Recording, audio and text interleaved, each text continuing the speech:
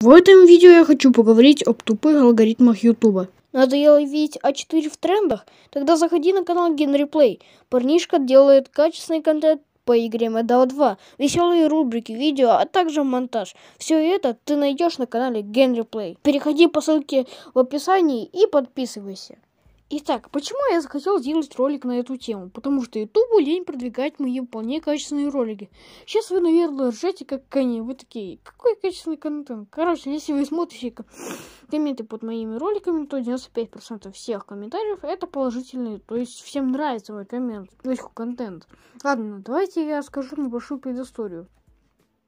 2010 год. YouTube только зарождался. То тогда YouTube был свободной площадкой. То есть маты хоть не запикивай, тебе ничего не будет.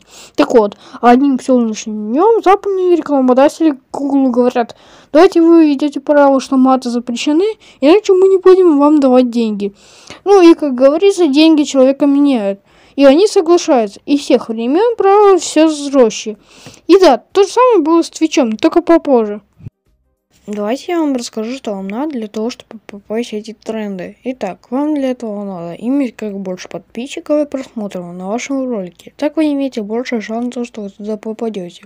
То есть туда попадают только э, средние и большие каналы. Конечно, есть исключения по типу моего ролика одного, но не важно. А еще вы должны иметь большую удержаемость на вашем ролике. А это все у меня нет из-за алгоритмов Ютуба. То есть, понимаете, YouTube сам себе противоречит.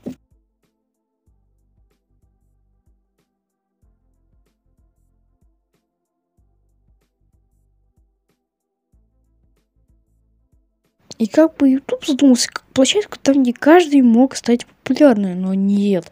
Надо ограничить все больше ютуберов. К примеру, Мистер Макс и Мисс Китти. Да, сравнение с такой, но раньше контент был их фановым, но из-за правил стала дешевая параша, который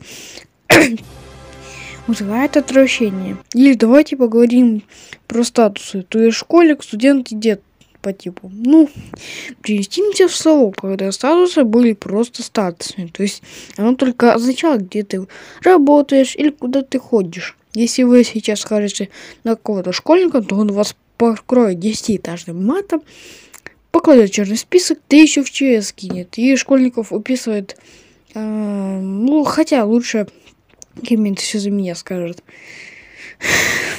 Вкратце, школьники воспринимают не всерьез. Говорят, типа, 12-летний курящий школьник, который сбежал из детдома. Или же, давайте поговорим про рекламу. Большинство ютуберов, а точнее популярные ютуберы, где-то 20 или 30 процентов уверен, раскрутились благодаря рекламе. Но если у вас нет связи с ютуберами, которых минимум 5000, или же денег на рекламу, то вы попадаете в мир удачи, казино с ютубом и гуглом. Если только на удаче, не, ну, конечно, есть связь с Травентусом у меня, но коллап он не хочет. Хотя его можно понять, ему не будет выгодно. Вывод, что с каждым годом все хуже и хуже, что если